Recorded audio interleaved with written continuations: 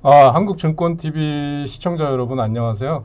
오늘은 제가 8월 9일이죠. 8월 9일 수요일장에서 어, 이제 녹화 동영상을 제가 올리려고 준비를 하고 있습니다. 자, 이제 시작할게요. 자, 지금부터 시장이 이제 2차 전지가 아, 시원찮은 흐름을 보여주고 있고, 어, 지금 또 여러 가지 신용 등급, 미국의 신용 등급 강등 이후에 전체적으로 하락장이 시작이 되고 있어요. 그런 장에서 답답한 시장에서 수익을 낼 수 있는 방법은 뭐냐? 저는 지금부터 여러분들이 이 종목들을 공략하셔야 된다고 생각합니다. 자, 특히 제가 그동안 말씀드렸던 지금은 제약바이오, 미용기기, 헬스케어의 시장이다 이렇게 말씀드릴 수 있겠고요. 지금 미국의 성인의 40%가 비만, 당뇨로 고, 고 통을 받고 있어요. 근데 이 시장이 2030년이 되면 237조 시장으로 급등합니다. 급증합니다. 의료 AI는 9년간 17배 정도의 17배 정도의 성장을 보일 걸로 예상을 하고 있고요. 미국뿐만 아니라 우리나라에서도 20대 당뇨병 환자가 급증하고 있다고 합니다. 그래서 비만 당뇨는 이제 전 세계적인 트렌드다 이렇게 생각을 하셔야 돼요. 자, 이제 주목하셔야 될 거는 그래서 그럼 이런 게 그 가시적으로 나타나야 되잖아요. 자, 한번 볼게요. 미국의 일라이릴리라고 하는 제약사의 주가를 제가 지금 보여드리려고 하고 있어요. 실적 발표 이후에 주가가 14% 급등했습니다. 14.96%. 전일 종가가 여기였죠. 거래량이 이렇게 폭발했어요. 이거는 추가 상승을 암시하는 겁니다. 주봉상에 한번 볼까요? 여기서 장대 양봉을 세웠고 신고가를 단숨에 했는데 거래량은 증가하고 있습니다. 시간에서도 다시 상승하고 있어요. 자, 월봉으로 보면 사상 최고가를 경신하고 있습니다. 일라일릴리 아, 지금 538달러를 기록하고 있어요. 그래서 일라일릴리가 미국의 지금 제약주 중에 시총이 파이자 다음이다 이렇게 생각하시면 될 거예요. 그래서 존슨앤존슨을 넘어섰다 이렇게 말씀을 드릴 수 있겠고요.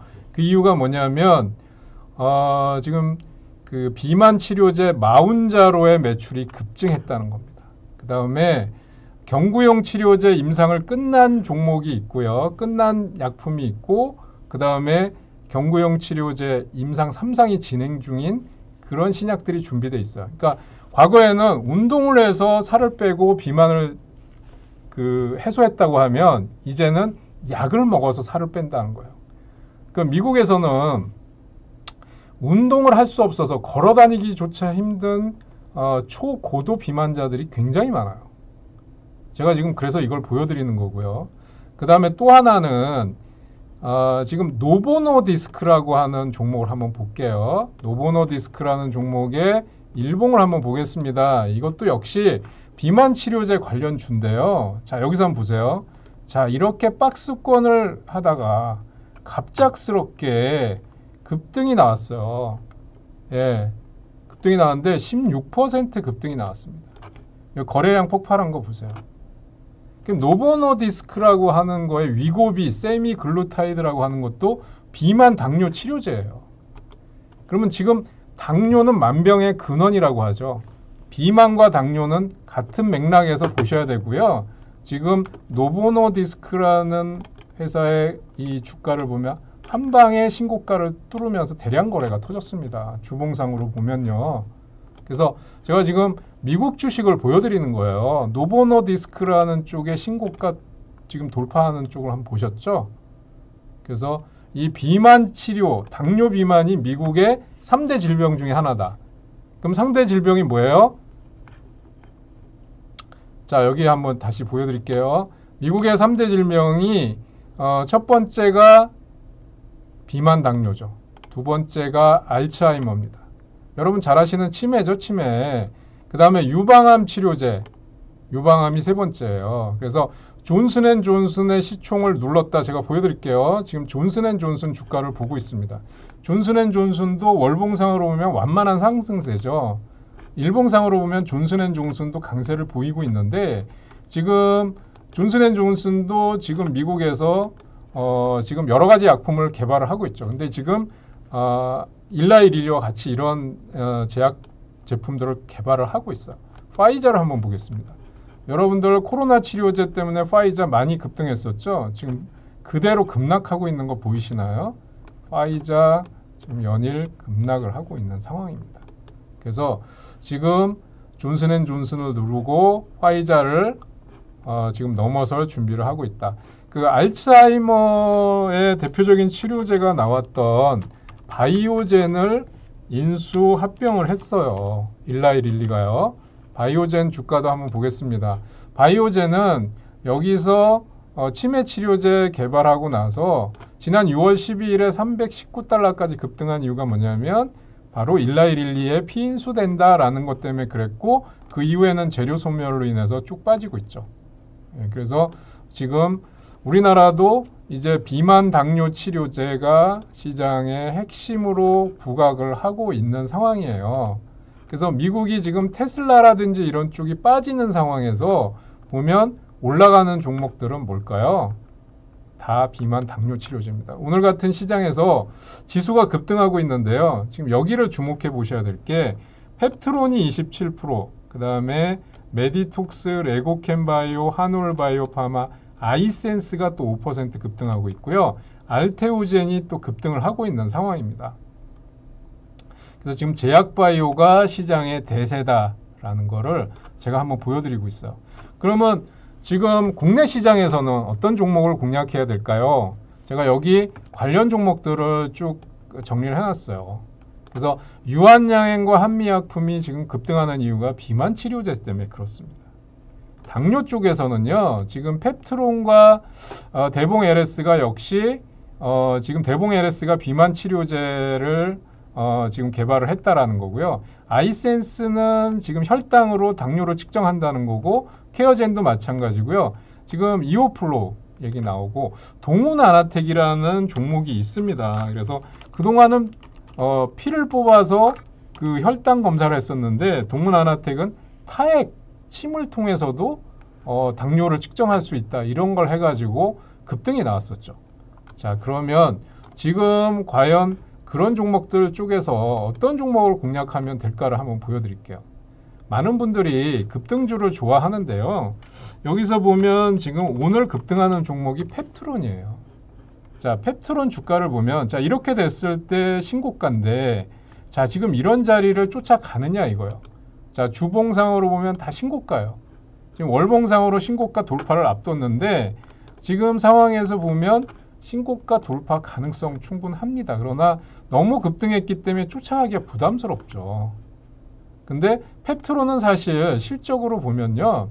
어, 그다지 그리고 지금 어, 여기 보면 어, 지금 펩트론의 경우 한번 볼게요. 펩트론의 경우를 한번 보시면 어, 지금 여기 기업 실적을 한번 볼게요. 기업 실적을 들어와서 보면 플랫폼 기술 어, 관련해서 얘기인데 적자 기업이에요. 그러니까 이런 종목들을 무작정 쫓아가기는 쉽지 않죠. 근데 이제 동문아나텍이라는 종목을 한번 볼게요. 최근에 급등한 이후에 투자 경고 종목이 됐었는데 그동안 적자 기업이었어요. 2년 동안. 그런데 올해 매출이 두배 이상 급증하고 영업이익이 219억 흑자 전환을 했는데 이미 1분기에 그런 실적이 나왔고 2분기에도 호실적이 이어지고 있어요. 그러면 지금 단기간에 급등했다는 게 가장 큰 문제죠. 그래서 투자 경고 종목으로 지정이 됐어요. 동훈아나텍을 한번 보면 야 이렇게 급등했는데 여기서 지금 54,300원에서 주가가 바토막 났다는 거예요. 그럼 투자 경고 종목으로 지정돼 있긴 했지만 지금은 들어가 볼 만하다는 자리예요. 예. 그래서 어, 지금은 한번 공략해 볼 만하다는 거고 주봉상으로 보더라도 지금 2만 5천 원대 정도가 어, 저점으로 보인다 그러면 어, 단기적으로는 3만 원에서 3만 5천 원 정도까지는 상승이 가능해 보인다라는 거죠. 예, 그런데 지금 이런 종목들은 실적이 바탕이 안 된 종목들이고요. 어, 아이센스라는 혈당 치료제 쪽이 유럽이나 이런 쪽에서도 계속 되고 있는 회사예요. 근데 여기 보면 차트상으로 조정을 잘 받았고요. 어, 유럽계 펀드에서 지금 비중 7%를 가지고 있습니다. 지금 공략하기 좋은 포인트죠. 아이센스는 궁극적으로 39,550원 일본 고점 돌파할 거로 봅니다. 이걸 돌파하면 신고가고요. 여기서 거래량이 실려 있고 그러면 아이센스를 왜 그렇게 좋게 보느냐 어, 실적을 한번 볼게요. 아이센스의 실적을 보시면 아마 이해가 가실 거예요. 자, 그럼 보면 지금 이런 의료기기 또는 제약바이오의 실적과 영업이익이 나오기가 쉽지 않아요. 그런데 보면 작년에 2,648억 매출에 198억 영업이익. 그 다음에 올해 2,872억이 236억. 그러면 1분기, 2분기에 어, 작년 동기 대비해서 소, 솔직히 좀 줄어들었다고 하더라도 예, 실적이 좀 축소됐다고 했었죠. 그래서 조정을 받은 거예요. 그 조정이 매수 기회다 이거죠. 예, 그래서 어, 지금 신고가를 돌파할 수 있다라고 보는 거예요. 자, 오늘 급등이 나왔던 게 한미약품입니다. 예, 한미약품이 오늘 12%의 급등이 나왔는데 뭐 한미약품은 더 이상 얘기할 수 없겠죠. 근데 그동안 여기서 보면 그동안 이제 코로나 팬데믹 때 실적이 그다지 썩 좋아지지 않지만 이제 올해는 본격적으로 매출과 영업이익이 급증하는 흐름을 보여주고 있어요. 그러면 지금 현재 시가총액이 3조 5천억입니다. 그러면 오늘 나오는 흐름과 차트를 통해서 한번 확인을 해보시면요. 자, 한미약품 같은 경우는 덴마크 제약사와 비만 치료제 공동 개발 합의했다 이런 뉴스가 나오면서 급등이 나왔습니다. 장대 양봉이 솟았고 최근에 기관 매수세 대량 거래가 수반이 되고 있어요. 그러면 주봉상으로 볼 때 지금 이 박스권의 고점을 단숨에 돌파하기는 어려워 보이죠. 매물대가 있어서. 그래서 이런 종목은 추격 매수 안 하고 눌림목 공략을 한다 그러면 월봉상으로는 이 박스권 상단 40만 원 돌파하기는 어려워 보입니다. 그래서 상대적으로 지금 아이센스가 더 돋보이는 거죠. 그 다음에 어 이제 그 대봉 LS라는 종목은 원래는 화장품 회사였어요. 근데 어 지금 비만 치료제를 개발했다 그래서 여기서 다시 어 아래 꼬리단 음봉이 나오고 있습니다. 그런데 비만 치료제를 개발했다고 하는데 그게 상용화되고 이렇게 되기는 시간이 필요하죠. 예, 그래서 여기 보면 주봉에서 지금 단기간에 급등을 했는데 그러면 대봉 LS까지는 지금 신고가 돌파가 가능하냐? 17,900원. 그러면 실적을 봐야 돼요. 예, 실적을 봐야 되는데 어, 지금 실적을 한번 보시면은 자 대봉 LS 한번 볼게요. 어, 대봉 LS의 실적을 보면 지금 쭉 보면 적자 기업이 아니에요. 그런데 그렇게 눈에 띌 만한 실적은 없기 때문에 어, 안정적인 수익을 원한다 그러면 역시 아이센스로 집중하는 게 맞다라는 거고요. 아까 동훈 아나텍 얘기를 했는데요. 마지막으로 이제 동훈 아나텍을 보고 끝내기로 하겠습니다. 동훈 아나텍을 보시면 지금 얘는 원래는 반도체 기업이었어요. 예, 그래서 반도체 하드웨어 쪽의 칩 팹리스 업체인데 적자 기업이 아니죠.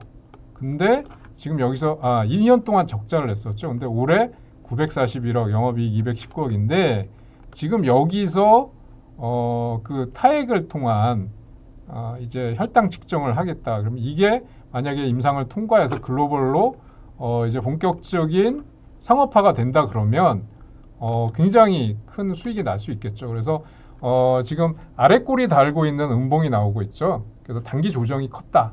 그래서 들어갈 수 있는 자리다. 아, 이렇게 말씀을 드릴 수 있을 것 같아요. 그래서 지금 여러분들이 매우 답답한 시간을 보내고 계실 거예요.